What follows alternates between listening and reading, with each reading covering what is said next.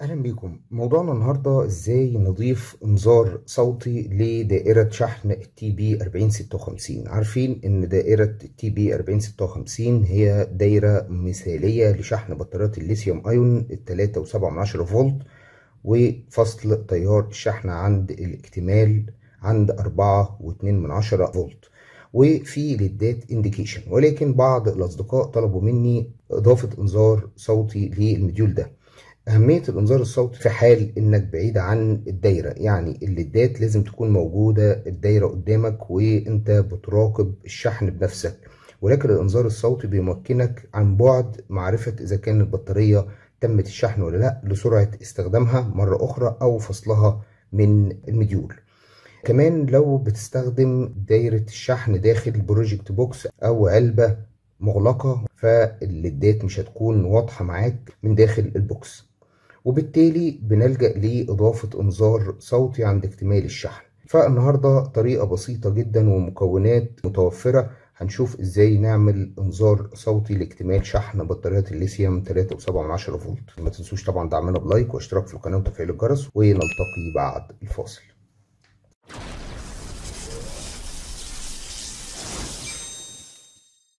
شرحنا دايرة IC ال TP 4056 في أكثر من فيديو. هسيب لحضراتكم روابط الفيديوهات في وصف فيديو النهاردة. وبشكل سريع أطراف ال TP 4056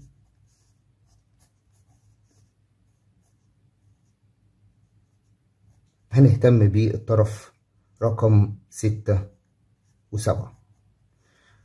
دول طرفين لليدات ال indication في هنا موجب الخمسة فولت.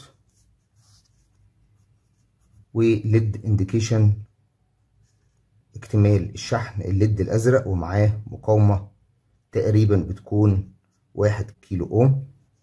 وال LED التاني LED ال charge ال LED الأحمر ومعاه مقاومة واحد كيلو أوم بالشكل ده.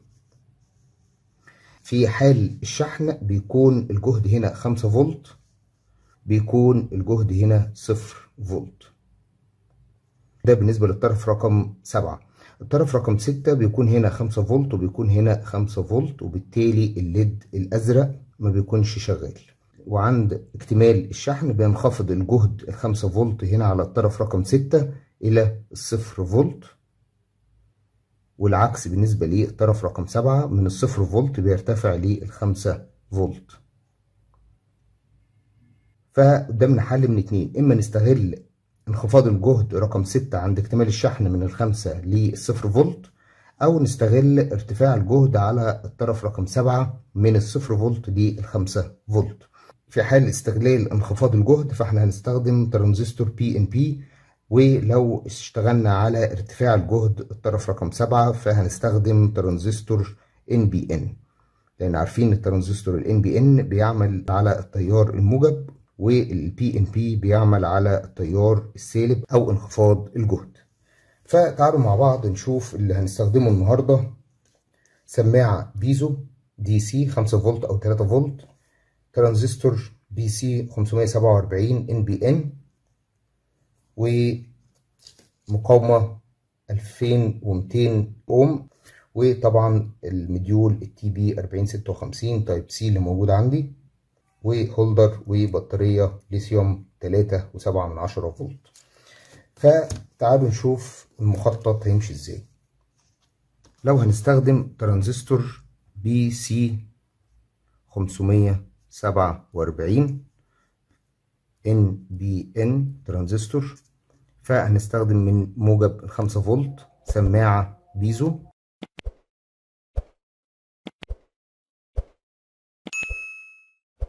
ده شكل المخطط السماعة ال piezo الموجب مع الطرف موجب الدايرة أو موجب ال module والسالب مع collector ترانزستور وهنا ال base وال emitter. ال emitter طبعا مع الأرضي أو السالب.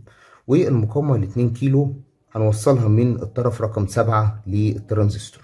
في حد يقول لي ممكن ناخد من base الترانزستور للطرف ده من المقاومة ما بين ال LED والمقاومة مباشرة بدون مقاومات ونستغل المقاومة دي. طبعا ده مش هينجح عمليا وأتمنى تسيبوا لي في التعليقات السبب الناس اللي متابعة معانا. فتعالوا مع بعض نشوف التوصيلة دي هنعملها إزاي.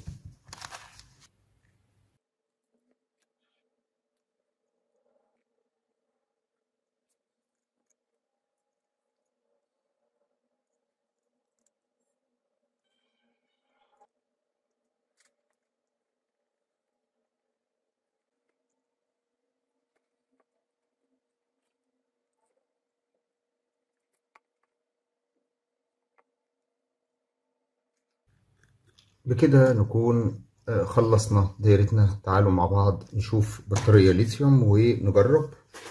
معانا بطارية ليثيوم وشاحن type C بمجرد ما نوصل الشاحن بدون البطارية ال LED الأزرق بيكون مضيء في ال module وبالتالي الإنذار الصوتي هيشتغل. فهنجرب مع بعض دايرتنا شغالة ولا لأ بدون البطارية الأول. فعلا الاتنين ليد في إضاءة. موصل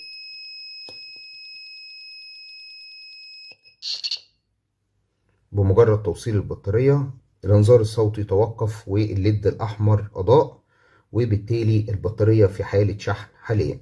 تعالوا نتابع جهد الشحن.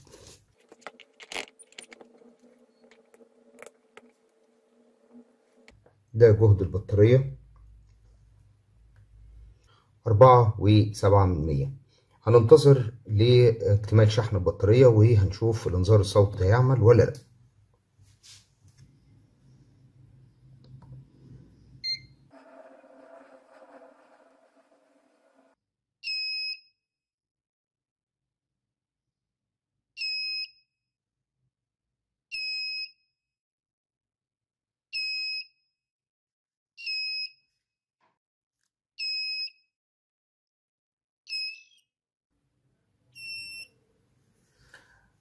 زي ما حضراتكم شايفين عند الوصول ل 4 18 من 100 فولت بدأ المديول يفصل الشحن ويعطي إنذار اكتمال شحن البطارية.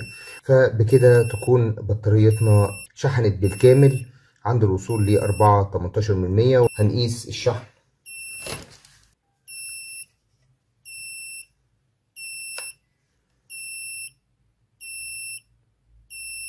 تقريبا تيار الشحن متوقف.